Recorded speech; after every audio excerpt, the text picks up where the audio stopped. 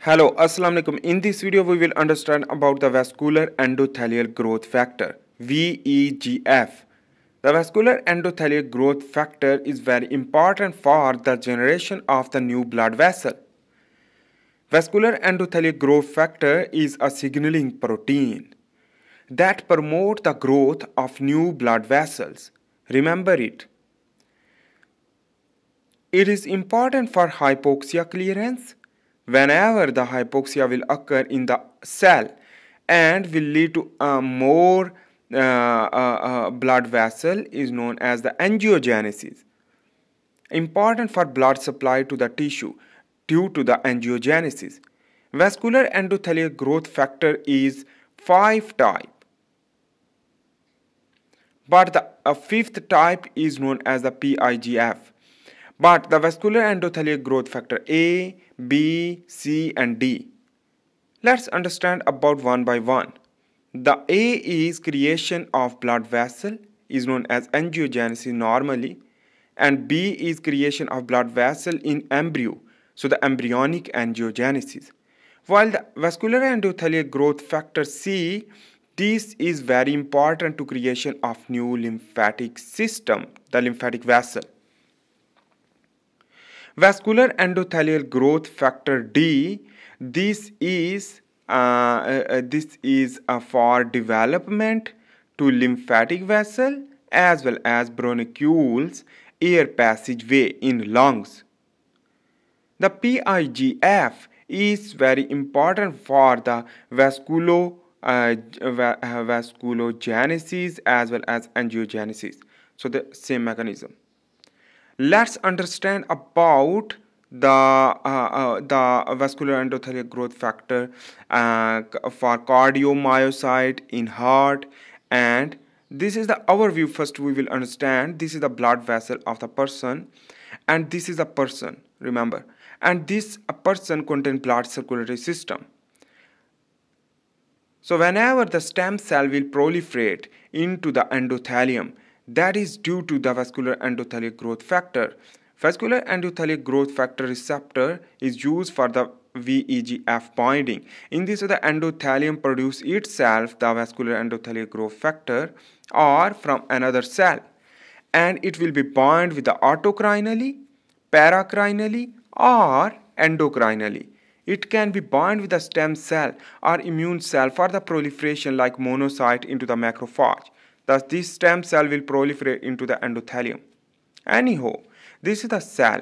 This cell is basically contain vascular endothelial growth factor will bind with the receptor. In this, the vascular endothelial growth factor 1 and 2 are involving and in this way the uh, cascade of phosphorylation will occur like uh, SRE protein, FAK protein, for the vascular permeability while the RAF and MEK protein is used for the cell motility and the PI3K pathway, the mTORC and AKT activation to cell proliferation and in this way will lead to whole mechanism used for the angiogenesis because the mobility is the movement of the right side while the cell proliferation as you know and vascular permeability means the permeability will increase.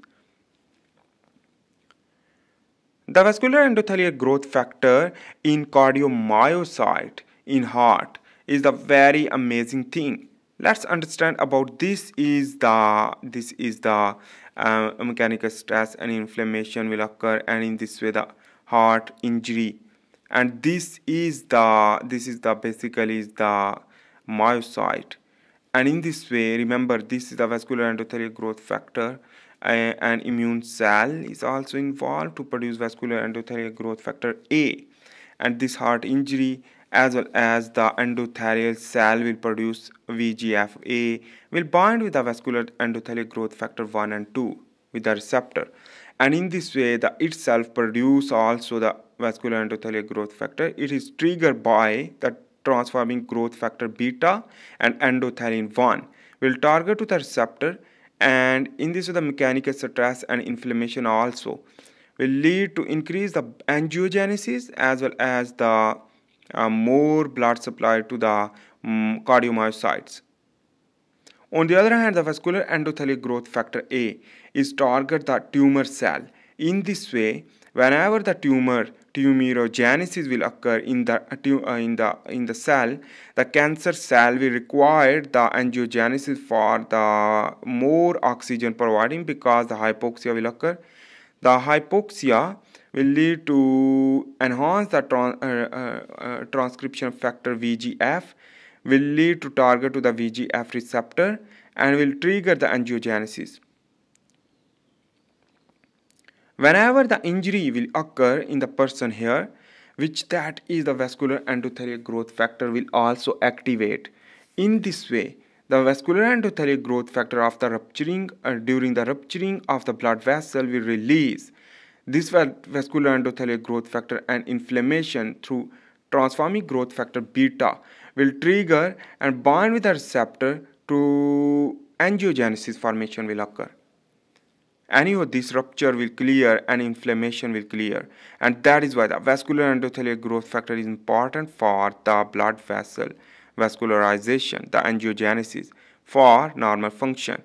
And that is why it is the basically clearance of inflammation due to that things. Let's understand about the YAP and TAZ signaling. This YAP and TAZ signaling is very important for the angiogenesis. Let's understand. This is the developmental cues and tumor microenvironment.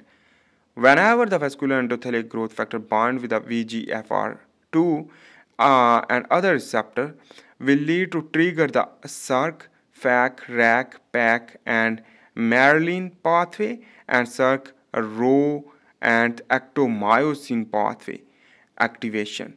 Remember these things these all pathway like SERC, and the actomyosin activation and FAK, RAC and PAK and Merlin activation will inhibit the LATs. So what is the function of LATs?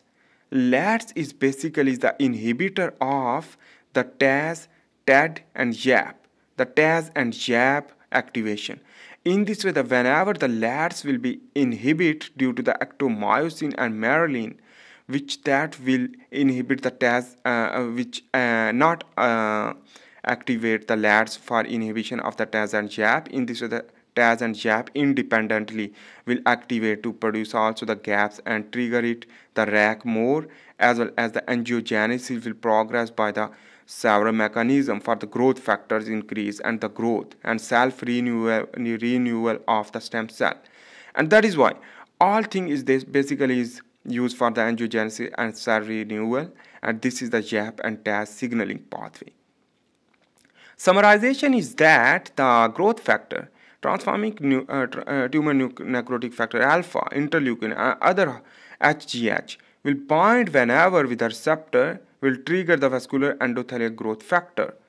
This will bind with the DNA to activate the gene PIGF gene or VEGF gene will lead to transcription to translation that protein is important for the angiogenesis. In this way, the angiogenesis will be possible, at least. Anyhow, in this video, we have discussed briefly with the exemplification of the vascular endothelial growth factor function and their physiology and this is important for the angiogenesis, vascularization, the blood vessel genesis, Anyhow, I hope you make sense about that. Please make sure to subscribe, like, and share. See you in the next video for this one. Bye.